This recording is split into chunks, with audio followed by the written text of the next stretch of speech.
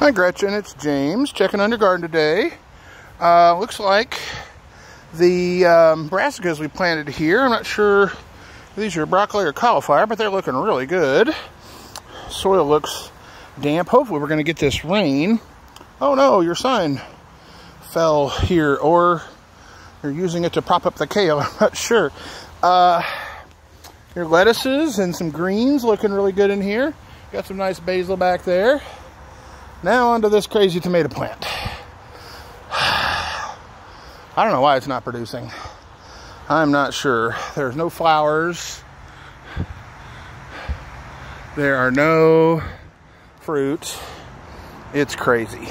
I don't have the tubs with me today to remove it, but when I come back next visit, uh, we'll yank this out of there. It's not hurting anything right now, um, but all right, we'll go over and check on your containers, your tomato plants that grow up to heaven. Look like they're still, oh, look at your chard.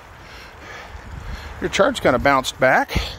Hopefully this cooler weather will help it out a bit.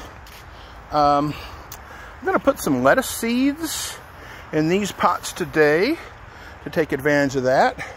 You've still got lots of fruit don't sweat it. We've still got a while. Um, a good six weeks. Oh, you got some blushing in there. Look at that.